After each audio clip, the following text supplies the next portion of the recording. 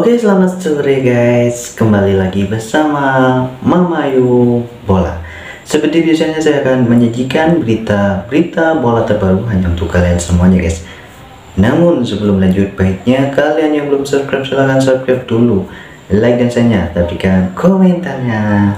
Berita dari Sabah FC yang tidak akan memberi laluan mudah kepada si Pahang FC untuk mendominasi perlawanan dalam pertemuan Liga Super di Stadium Ligas hari ini guys. Ketua juru latihnya, Datu Ongkim Sri berkata, pasukannya tidak terancam oleh pasukan ketiga terkuat Liga Super malah aktif meraih tiga mata.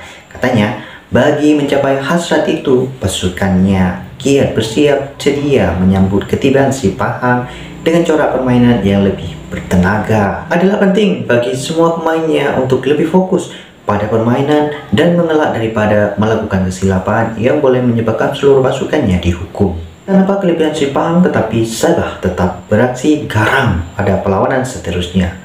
Beliau berkata guys, kali ini Sabah tidak akan memberi laluan mudah kepada si Pahang untuk menguasai permainan. Matlamat kami adalah untuk mendapatkan keputusan yang positif. Pelatih pasukan Sambat itu guys berkata, Kucing City FC hampir memperoleh satu mata dalam perlawanan di Stadium Liga Sabtu lalu. Namun, kesungguhan pemain untuk menang membantu Sabah meraih tiga mata, guys. Sambil menguji kesungguhan pemain, beliau percaya semangat sama akan ditunjukkan apabila berdepan si Pahang nanti, guys.